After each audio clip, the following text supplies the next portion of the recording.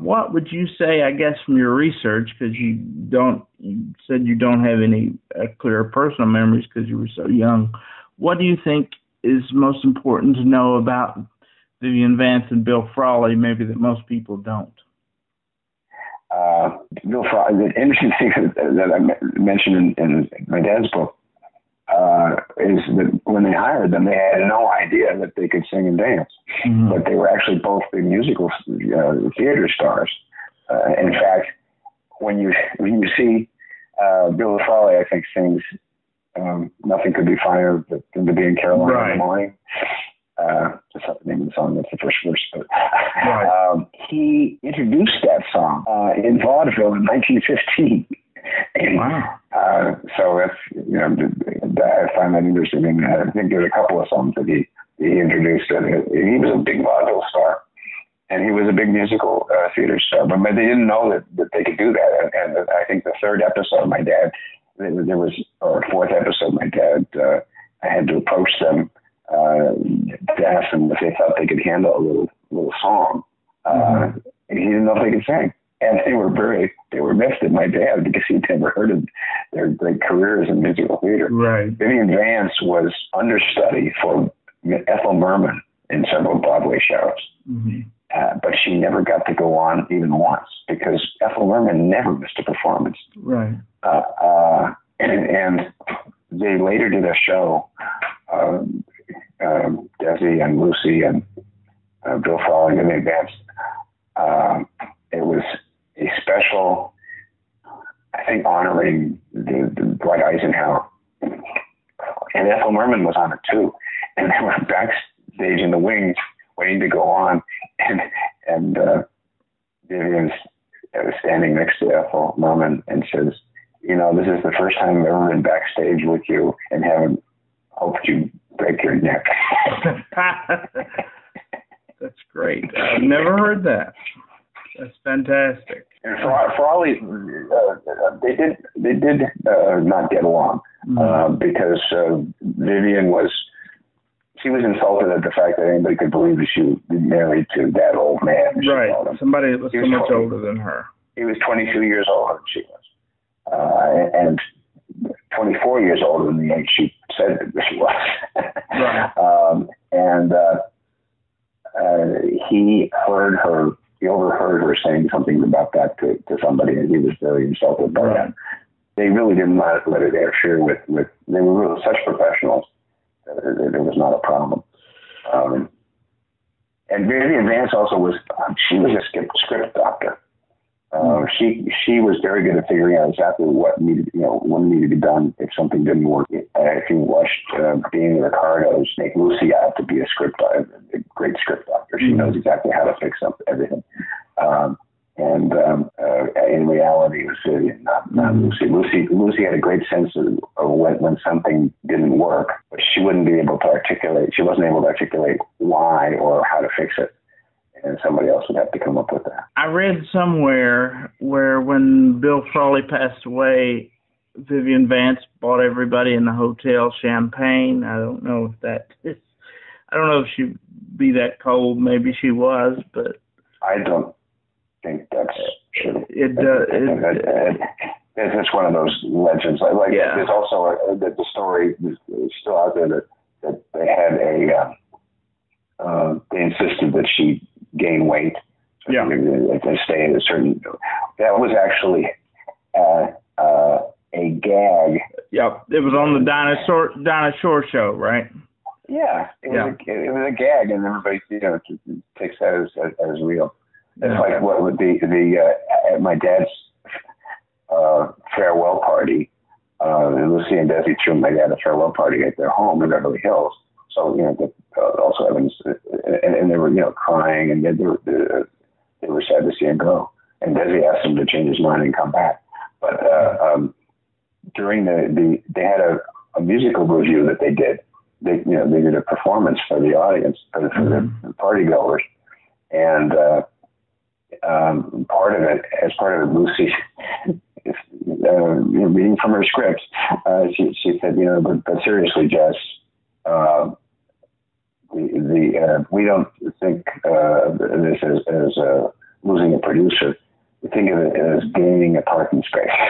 Right. a huge, a huge laugh. And I later read, I think it's in uh, the book Desilu. Uh, it, it says it, it, somebody says that Desi uh, made that remark about Jess, about my father, right? Which shows which shows how bad their relationship was. Which is, you know, that's how things get distorted. No, it was it was a it was a gag line written for Lucy that she, that she she read off on the stage. My dad and my mother cracked up, and it was, it was everybody else, and suddenly that becomes what was a, a nasty thing that Desi said about. Right. So you, you have to be careful about. Yeah, because it, it becomes adopted as fact. Right. Um. Now, a favorite part of my book, because I'm a very big fan of my favorite husband uh, as I've told you before, and I have all of them uh, on old time. Bought them off from old time radio, which I think you pretty well curated. You curated the DVDs, which I watch over and over and over and over again, and all the extras. Um, which, by the way, I need a new set because I've watched them so many times that they they they they're worn thin. Um, is there? A, I have to tell you, hold the thought with you. Oh, have, but, sure. uh, um, if you haven't found them, there are Easter eggs on the DVDs. Oh yes. If you uh, on this uh, Lucy on the radio. Yep. Uh, yeah. Yep. But, uh, you, you, click, you, click, if click. put the cursor on the on the CBS mic. Yep. Uh, you get a radio show. Yep. Yep. Well, no, no, it's not just the radio show. You get something extra, photo or, or something. Oh, uh, all, all, starting around season three, I, I started adding Easter eggs. Okay, so I need a new set because the one I have is worn thin. With these new uh packet or with these new packagings where they sell the whole set for like forty, fifty dollars, is that a wise set to buy, or are those ones that you produce, or are those kind of ripped off? From? Those are exactly the same. The only thing's different is the packaging. Okay, so that, uh, oh, except for it does not have the bonus disc with the with the movie on it. Right. But you can buy that separately. Have to buy that separately. I did. I got approval for to do an I Love Lucy movie screening at the our local college here, and as as president of the Will Love Lucy Club. So I put it in the DVD player, and what does it do? It skips. It was a, it was a oh. disaster. I went and I got the licensing, to, the approval to do it from everybody, and I put it in there and it skipped. I was horrified. I said, never going to do anything like that again. So I love Lucy the movie. I, I love that, but it kind of makes me cringe because I always think of that one thing. Um, but we did a uh, recreation of the Valentine's Day episode of My Favorite Husband, which was a lot of fun for our local yeah. library. Um, and as I've told you before, I was born in 1985, four years before Lucy passed away with cerebral palsy. Uh, Lucy was a champion of the Cerebral Palsy Foundation. Uh, were you are, were you aware of any of the work she did in that way, or is that?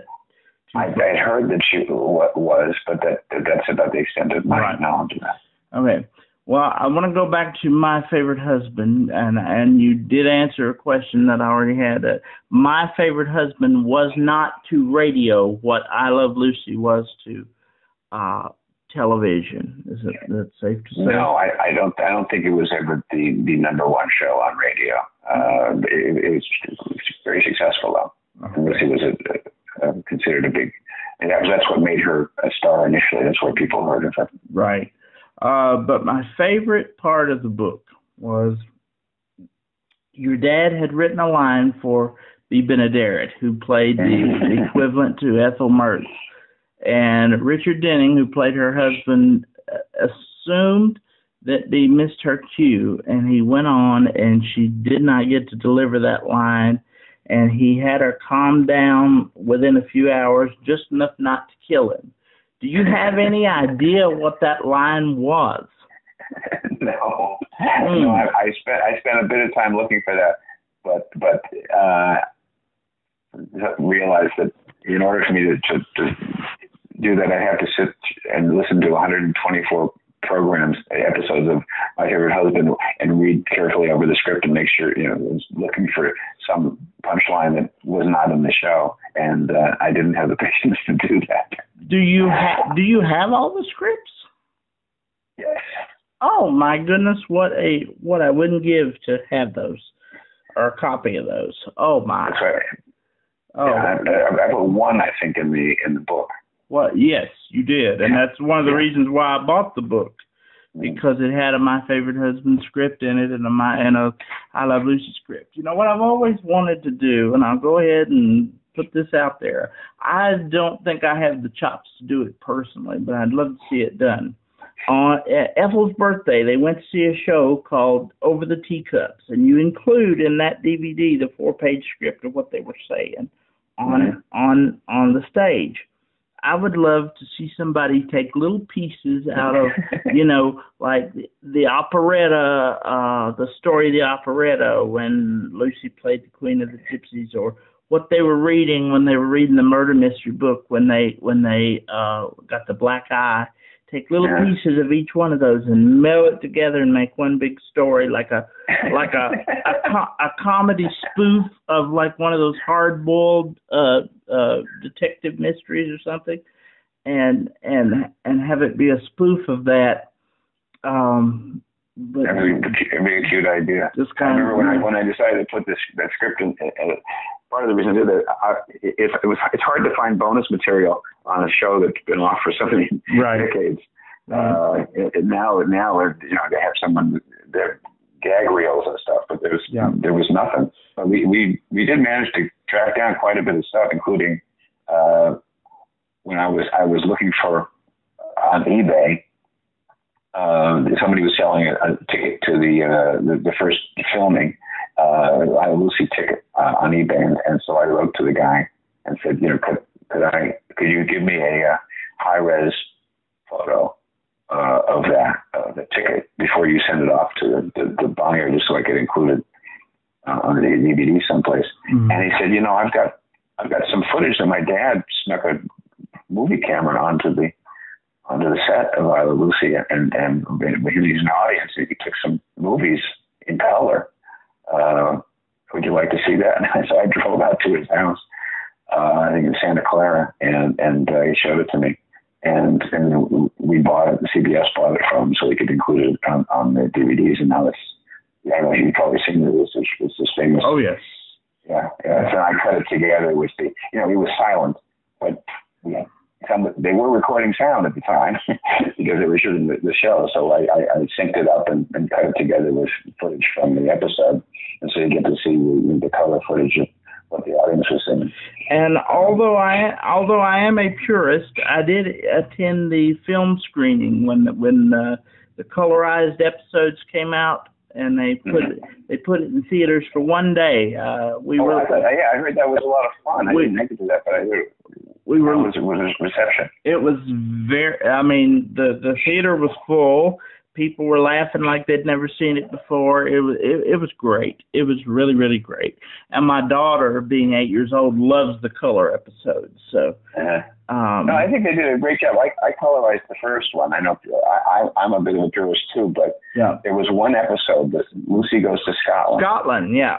I was going to ask you if that was accurate absolutely accurate. And, and the reason we know that is, is we had color publicity stills and color home movies that that uh, um, somebody uh, Lucy, not I know she was too young, but uh, somebody from uh, brought a, a, a movie camera and took home movies on the set. So we we know what the colors of all the costumes were, and the reason it was, it, it, I, I thought that that was the one that, although I I'm not big on colorization, I I thought that would be true to life is that they did that show as sort of Lucy's answer to I Love Lucy's answer to Peter Pan, right uh, which was which was on opposite I Love Lucy. But when, when the Mary Martin Peter Pan special went on, that that show was opposite I Love Lucy. Um, they they programmed a rerun when Peter Pan came on because they didn't want to compete with it. But uh, uh, they they said, well, we should do something like that, and so they, it was uh, the art design was in color. I mean, the, the, the, the audience saw it as a wonderful, colorful set. And so I said, well, since that's that's the way it was designed to be seen by the, the studio audience, let's. I think it's fine to show it to the people at home like that. So, and we had everything to make sure we had the colors accurate, and so they did a phenomenal job. Yeah. Uh, Wow. It's funny. The, the, the, uh, Lawrence Welk, you remember that? I don't know if you remember. Oh yes, very much. Someone, the champagne lady. Yep. Uh, she was uh, one of the villagers in the Oh. chorus.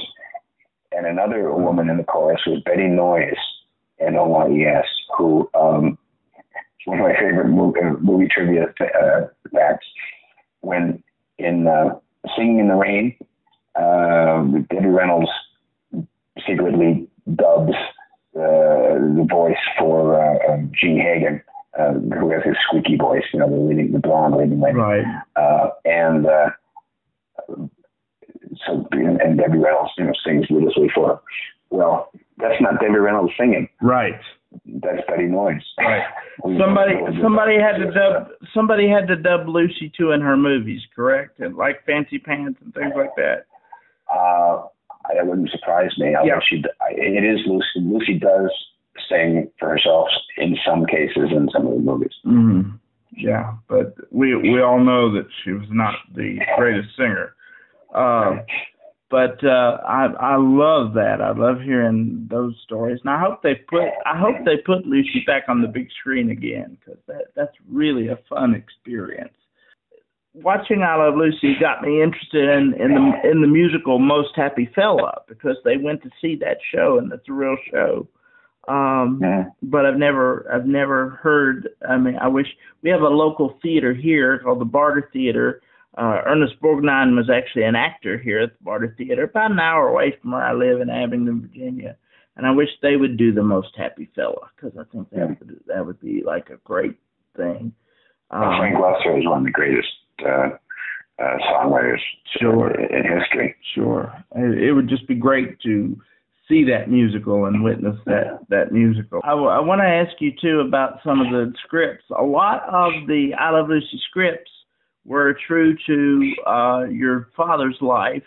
For instance, uh, was it your grandfather that had trouble getting passports? So that was incorporated into Lucy's difficulty getting her birth Grandmother, my grandmother. Your grandmother. Yeah. Yeah, And- she she couldn't get a passport. They wanted to go around the world in 1934, uh, and and uh, um, my grandmother was born in San Francisco, a Jewish woman in San Francisco, uh, and her her uh, husband was an immigrant from Germany, uh, and, and he came over in the you know, 1890s, uh, and they were married in 1909. He died in 19 uh, 29 or 30. And um, so when she applied for the passport, they asked her, uh, was her husband a, a naturalized citizen? And she said yes. And they asked her if she had any proof of that. And she said, why? Is it because, and they said, because under the law at the time they got married in 1909, my, mo- my grandmother became a German citizen if he was, if her husband was a German citizen. And if that was the case, then she could be deported to Hitler's Germany in 1934, which was a great thing. Uh, and so they had to search all over the country to, to try and find where my grandfather was uh, naturalized. And it turned out he'd been naturalized in Sacramento. Uh, and they found, they got a telegram from Sacramento confirming it, and then they were able to get the passport. So that, and that led to the passports episode where Lucy had to come up with a birth certificate to prove she was from James. And then James and then there was some reality with the handcuffs too. Uh, yeah. uh, it, it actually, the handcuffs uh, was it was really more the Lucy and the Dummy episode where where uh, uh, Lucy, Lucy does a a, a um, an episode with uh, Lucy does a, a dance with a dummy. Rick, Ricky. Ricky the dummy, yeah. Yeah, and uh, and then she, he gets stuck to her, and so she she keeps trying to come back on stage and dragging the dummy. Uh, and I think that was inspired by uh, a handcuffs episode, which was uh, my father. My father was a, young actor on the stage, and uh, he was supposed to be a, a, a detective. Uh, and, in the climactic scene, he he uh, arrests the uh, the bad guy and, and um, puts him in cuffs. And he did that, and somehow the cuff got looped around my father's uh, belt loop, and he couldn't. They could not get it off. And a policeman was supposed to take the the bad guy off, uh, and and then my uh, my father was supposed to do this big love scene with with the leading lady, and. Uh, and, and there's this bad guy who, they can't they can't get rid of him because he's stuck in my dad's pants, and so, and so the, you know, it was a, I mean, it was an unintentionally hilarious scene, and, and my dad did it in, in, in the early 30s mm-hmm. uh, in San Francisco, but um, uh, it you know it inspired the uh, the Lucy and the Dummy. So she couldn't get rid of Ricky. And then there's my personal favorite, which this is one of my wife's favorite episodes when Ricky thinks he's getting bald. You have on your Facebook a portion of the script where it says, Ricky, my head feels like it's on fire. Lucy says, Good, that means you've got your scalp on the run. Now, for a little soothing massage, and there's directions as she puts she puts the vibrator, reaches on the floor, and comes up with another machine, a diabolical looking gadget with two rubber pads which grab the head on either side and alternately pull the ears up until they're on the top of his head and down until they're touching his shoulders. In parentheses, it says, See the producer. He has endured this particular machine as the start of what has turned out to be a very becoming lack of hair after a sufficient amount of it. So, suffice it to say, your father went uh, to some lengths with his uh, follicle challenge, shall we say. Yes, he, he started losing his hair in, in, uh, in, when he was in his uh, early 20s. Uh-huh. Uh, and uh, and Johnny Green, who was the musical director for the Fred Astaire show on radio that my dad was writing for at the time, um, was a big proponent of all the uh, different gadgets and, and, and, creams and things. And, and uh, my dad and, and Johnny tried all these things together, including that gadget. Uh, the scalp agitator is called. And, uh, uh, you know, that, that inspired the, uh, um, Ricky thinks he's getting bald episode. Mm-hmm. Uh, that's one episode where actually um, that scene with the scalp agitator came out so so um, funny. Uh, I think they um, that was supposed to be uh, in the middle of the show, and and they were going to end with the uh, the bald party, the bald men's party, right? Uh, uh, and and they ended up rearranging it, uh, reversing the order because they wanted to end with the funniest scene, right? Because he wanted, he went after he went through all that, he wanted to do it every night. So yeah, yeah, yeah. Um, so and the question I had meant to ask first, I had all these in such nice chronological order, but uh, our conversations went where I asked my first question last.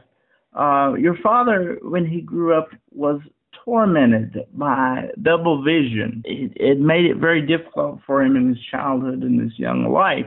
Uh, did he ever, and how and when did he ever get that rectified or find out what that was? Well, he discovered it, and I have the same problem, by the way. Oh. Uh, he discovered it uh, when he was in the Coast Guard, um, and uh, uh, he was finally diagnosed, and they um, uh, they prescribed eye exercises, uh, and, and uh, he did those religiously uh, every day, and and it, it helped him because his eye problem was was muscular Mm. You know, the, the restoration was a, a different level. It's called vertical hypophoria, where the restoration of, of the eyes, they're looking at different levels. And, and if, if, if your left eye is looking slightly up and your right eye is looking slightly down, it's very hard to fuse the two images into one for to see you know, 3D. Uh, and um, so he uh, he started, did those eye exercises, which helped him a lot. Mm-hmm. Uh, and uh, and then eventually he he uh, started wearing glasses and starting like in '55, um, and uh, they had a prism in it, Um, and so it didn't really bother uh, that much uh, in his later years because it, it improved so much, and what was left was corrected by the glasses. And I how? didn't, I, I didn't discover until I was 20. Wow. Uh, And how? And how do you treat the problem yourself? I have prisms in my glasses. Uh huh. Um, Same as he did. Yeah.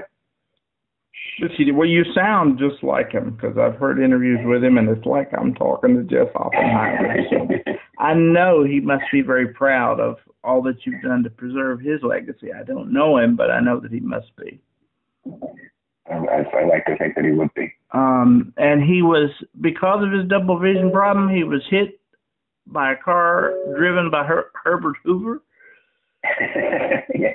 Well, yeah, the car wasn't going very fast. And Herbert were uh, knocked him down, uh, and uh, uh, it, it was quite a, quite a shock, and more than a shock than, than being hit by the car, because he was just sort of slightly bumped as he was crossing the street. He was at Stanford Right. at the time, uh, and, and uh, he looks up and there's a guy who not too long ago had been, you know, several years before we had been president of the United States. staring at him. Right. Um, since we're talking about your dad, that's how I'd like to end. Uh, everybody knows Jess Oppenheimer is the creator of I Love Lucy, but who was your dad? Just your dad, and how would you like people to remember Jess Oppenheimer? How do you how do you remember Jess Oppenheimer? I, I I just thought he was a wonderful, wonderful guy. Uh, he was a great father. Uh, uh, we we we were very close. Uh, we, in fact, we drive our rest of my family crazy because we sort of go off into our own world. That we finish each other's sentences, uh, and um, uh, and he was. Ter- ter- we shouldn't be surprised. He was a terrific storyteller, Mm-hmm. uh, and, and he liked nothing better than to. Uh, uh, you know, repeat some great joke or something that, he, that he'd heard, uh, or some funny story that, that he'd heard, and uh, you know, he'd, he'd always try to crack people up, um, and, and, and out to eat or something, crack the waitress up or the waiter, uh, and uh, but he wasn't on all the time like like, like some you know comics, Right. uh, but uh, just a wonderful guy. And uh, and uh, so are you, if I may say so. What uh, plans do you have for the future? Are you writing more books? I know you mentioned you're going to do the audio book of Laughs, Luck and Lucy. Will that be available on CD or just downloadable audio? Uh, probably just downloadable because I'm, I'm self-publishing it through uh, through uh, Audible, Uh huh. Uh huh. Okay. um, and um, it'll be on Audible, iTunes, and uh, Amazon. Mhm. And um, yeah, I finished recording it. I'm just finishing editing it now, so uh, it'll be out in a month or two. Uh, and uh, and I'm writing a, a play. I've done a, a, a number of things. I have a thing that I call online radio theater Mhm. uh, which which is on my YouTube pay, uh, YouTube uh, um, channel. Uh, and and I and one thing I did was it's called Playing Both Sides, Jack Benny versus Fred Allen, which is a bit of uh, dramatization of the first part of uh, of uh, the book. The play wasn't the last part of the book, but the, the, uh, that that thing on my YouTube channel is, is uh, a lot of the first part of the book, uh, including some of the comedy routines and stuff for you know, Fred Astaire and and uh, Burns and Allen and stuff like that. Oh, fantastic! Now, will that play be available for hopefully theater goers around the country, or? Uh, well, I'm yeah, I'm expanding it into a full play. I don't know how long that's going to take. There, right? Because they can see they can go to my YouTube channel and then see see uh, the first 20 minutes. Well, that sounds great. I mean, you've been very kind with your time. Um, you know, I'm a twelve dollar a week newspaper columnist, and get to get to talk to somebody like you is the biggest thrill of my 18 year career. So I I can't thank you enough. Thank you very much. I, I've enjoyed it.